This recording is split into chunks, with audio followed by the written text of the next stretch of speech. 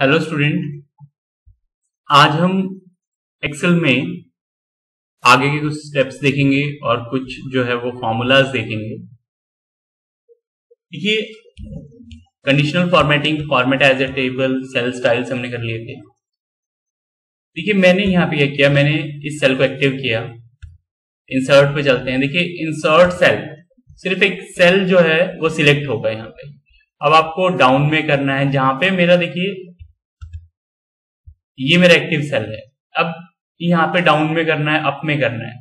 तो क्या होगा, एक सेल इंसर्ट हो जाएगा और ये वैल्यूज़ नीचे शिफ्ट हो जाएँगे। तो ये देखिए, एक सेल यहाँ पे सेल का मतलब है सिर्फ़ ये, जो एक्टिव सेल है। सिर्फ़ ये एक रेक्टेंगल बॉक्स इंसर्ट होगा यहाँ पे। इस तरीके से अगर मान लीजिए कहीं पे आपको वैल्यू इंसर्ट करनी है और जो पहले वाला डेटा है, उसको डाउन में रखना है तो आप इस तरीके से सेल को इंसर्ट कर सकते हैं।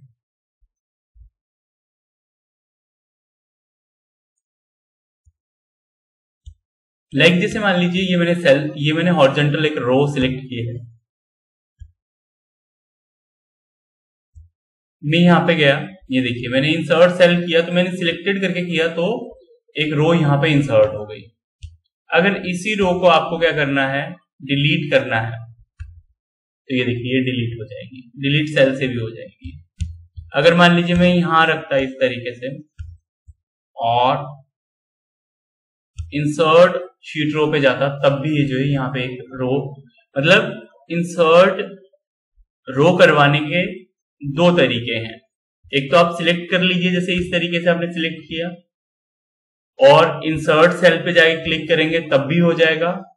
और एक अगर मान लीजिए, आप डायरेक्ट जैसे मान लीजिए यहाँ पे आपने रखा देखिए, मैंने लीजिए यहाँ पे आपने सेल को एक्टिव किया और आप इंसर्ट में गए इंसर्ट में शीट रो किया तो शीट रो से भी आपकी एक रो जो है वो इंसर्ट हो जाएगी। अब मान लीजिए, जैसे मान लीजिए मैंने यहाँ पे क्या किया है? इस तरीके से कॉलम को सिलेक्ट किया इंसर्ट शीट कॉलम्स किया तो एक कॉलम यहाँ पे इंसर्ट हो गया। तो इस तरीके से इंसर्ट करवाने के लिए यूज़ में लिया जाता है। कॉलम इंसर्ट करवाने के लिए, रो इंसर्ट करवाने के लिए, सेल इंसर्ट करवाने के लिए। ठीक है? जैसे मान लीजिए कॉलम इंसर्ट किया है मैंने, अगर इस कॉलम को डिलीट करना है तो डिलीट शीट कॉलम भी आप कर सकते हैं। और देखिए, शीट आपकी इंसर्ट यहाँ से ऑटोमेटिकली जब आप क्लिक करेंगे इस सिंबल पे तो होती रहेंगी। अगर मान लीजिए फिर भी अगर आपको शीट इंसर्ट करना नहीं आ रहा है तो आप यहाँ से भी शीट को इंसर्ट कर सकते हैं। इंसर्ट शीट ये देखिए, ये शीट वन से पहले एक शीट फाइव जो है वो इंसर्ट हो जाएगी। जहाँ पे हमारी एक्टिव शीट होगी, उससे पहले शीट जो है वो इंसर्ट हो जाएगी। अगर शीट को आपको डिलीट करना है तो यहाँ से शीट डिलीट भी हो जाएगी। देखिए, वो शीट फाइव जो है, वो डिलीट हो गई है। तो इस तरीके से आप डेटा आप cell row column sheet insert यहाँ से कर सकते हैं। और डिलीट करनी है तो आप यहाँ से कर सकते हैं। ये ऑप्शन ठीक है? उसके बाद में देखिए, जैसे मान लीजिए कॉलम है या ये पूरी रो है। देखिए फॉर्मेट्स पे चलते हैं। देखिए रो की हाइट रो की हाइट अगर बढ़ानी हो, ठीक है? जैसे मान लीजिए, मैं यहाँ पे कर देता हूँ ट्वेंटी रो की हाइट तो ये देखिए रो की हाइट यहाँ पे इंक्रीज हो गई। जब मैंने इंक्रीज किया तो इतनी हो गई। ठीक है? कॉलम की अगर मान लीजिए आपको विथ इंक्रीज करनी है, देखिए, ठीक है? 8.43 है, ठीक है? तो जैसे मान लीजिए मैंने यहाँ पे क्या किया? मैंने यहाँ पे 15 किया। ओके किया तो ये देखिए कॉलम की विथ जो है, वो इंक्रीज हो गई है। अगर मान लीजिए ऑटो फिट कॉलम विथ करनी है तो ये इसकी ऑटो फिट है। ठीक है? डिफ़ॉल्ट विथ करें तो ये इसकी डिफ़ॉल्ट विथ ठीक है? विजिबिलिटी रो है, जैसे कॉलम है कॉलम को हाइड करना है, जैसे मान लीजिए। ये कॉलम यहाँ पे हाइड हो गया। यहाँ पे कॉलम देखिए एफ़ के बाद में सीधा एच आ रहा है। अगर आपको अनहाइड करना है तो अनहाइड कॉलम करिए। ये देखिए, ये ये देखिए। ये कंप्लीट जो है हाइड हो गया। अगर थोड़ा सा भी इस तरीके से रहेगा तो कॉलम जो है वो आपका दिखता रहे। नीचे से इस तरीके से आप हाइड अनहाइड शीट का रीनेम है। शीट का रीनेम आप इस तरीके से कर सकते हैं। या तो यहाँ पे क्लिक करिए, या यहाँ पे रीनेम जैसे मान लीजिए मैंने यहाँ पे कर दिया ई आइकॉन ये मैंने आपको फ़र्स्ट लेक्चर में बता दिया था। ठीक है? ये इस तरीके से हम इसको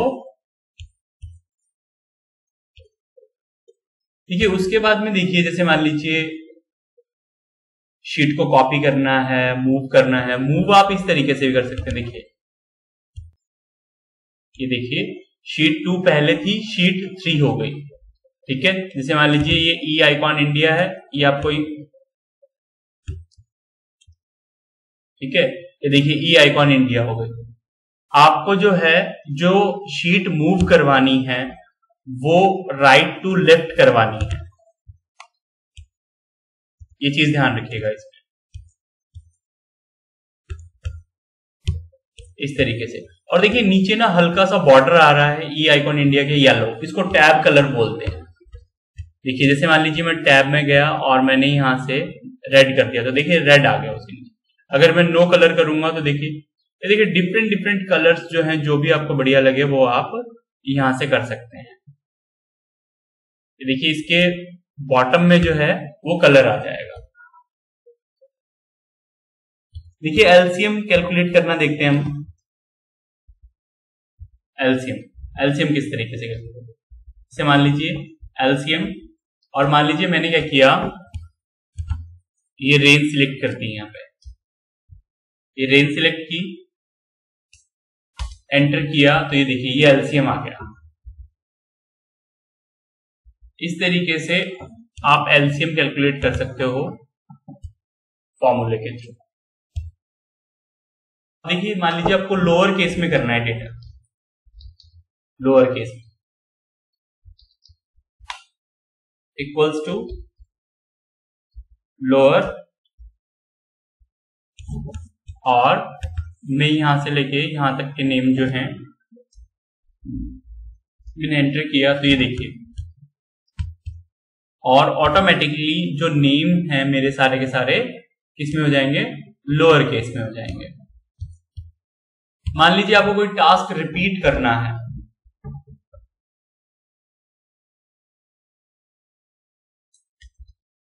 कोई टास्क रिपीट करना है तो equals to R E P T और यहाँ पे कोई भी नाम दे दीजिए।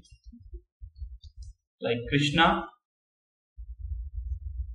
और देखिए, मैंने पहले भी स्पेस डाल दिया और लास्ट में भी स्पेस डाल दिया। और जितनी टाइम इसको, मान लीजिए इसको फाइव टाइम जो है वो हमने रिपीट करवाना है। या इतनी बार लिखना है हमें तो ये देखिए कृष्णा कृष्णा लिखा हुआ आ गया।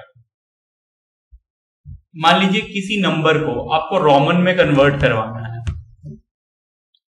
रोमन में कन्वर्ट करवाना है। इक्वल्स टू रोमन और मान लीजिए मैंने ये कॉलम डाल दिया यहाँ पे। मैंने एंटर किया तो ये देखिए, ये क्या किया इसने? ये जो डेटा है, उसको रोमन में कन्वर्ट कर दिया। ये देखिए, ये सारा का सारा रोमन में कन्वर्ट कर दिया इसने। आज एक फॉर्मूला और देखेंगे हम। जैसे मान लीजिए हमें काउंट करना है। देखिए जो काउंट है सिर्फ़ नंबर्स को काउंट करेगा और जो भी हमारा टेक्स्ट है उसको काउंट नहीं करेगा ये। मान लीजिए मैंने लिखा काउंट देखिए मैं ये कंप्लीट ले रहा हूँ यहाँ से लेके और मैंने क्या किया? मैंने यहाँ तक डेटा ले लिया। है एंटर किया तो सिक्स आया। सिक्स आया तो देखिए B two one two three four five six तो ये सिक्स जो है वैल्यू है, इसने कहा है कि सिक्स जो है वो आपकी डिजिट वैल्यूज़ है।